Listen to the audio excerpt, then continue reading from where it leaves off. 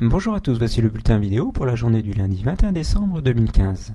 La situation générale est dominée par une dépression assez creuse de 969 hectopascales centrée au nord des îles britanniques.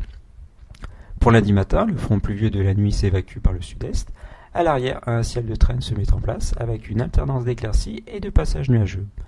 Le vent de sud-sud-ouest est modéré et assez fort avec des rafales de 50 à 70 km/h le long du littoral de la Manche.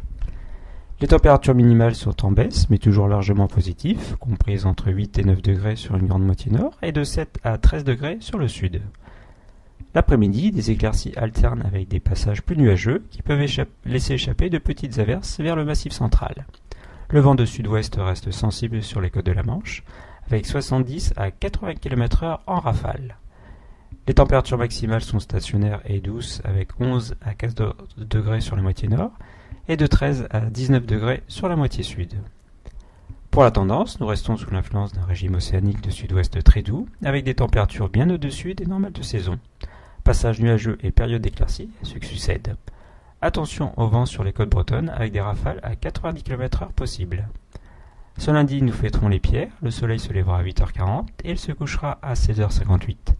Passez tous une très agréable journée.